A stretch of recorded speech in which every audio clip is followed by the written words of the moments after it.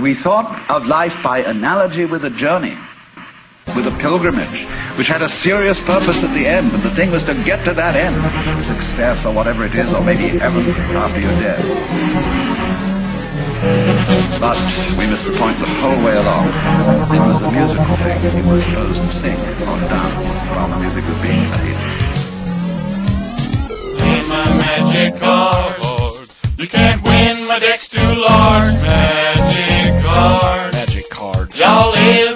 Retards when I play magic cards. I do trades, you call bars when I play magic cards. Five colors, my deck's so large. Won't you come play cards with me? I think that I can trust you. It'll be my favorite memory. The time I crushed you. My magic deck is so tight. I think I know why. My planeswalker is white. He'll make you cry. Remove target permanent. Here's a sample. Hillside troll when this fool's got trampled. Luck dragon. Luck dragon. We'll leave your butt sagging. Butt sagging. Then we'll throw you on a chuck wagon. Enough bragging, now it's time to back it up. Dead meat, that's what you'll be. When you try to match wits with the wizard geek, I'm laying down a fleet of 3-3 beast tokens.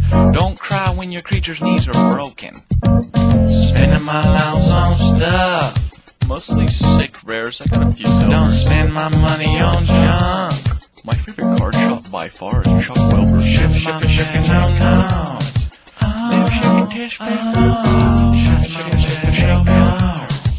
Chip, ship, get flip, flop. Getting so excited when I think about cards.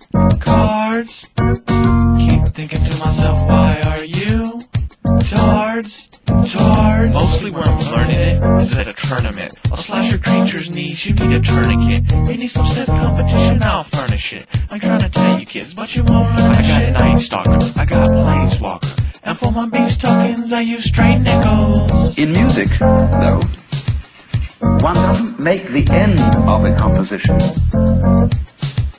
the point of the composition. If that were so, the best conductors would be those who played fastest. Would be composers who wrote only finales. People go to a concert just to hear one crashing chord, because that's the end. Same way in dancing. You don't aim at a particular spot in the room. That's where you should arrive.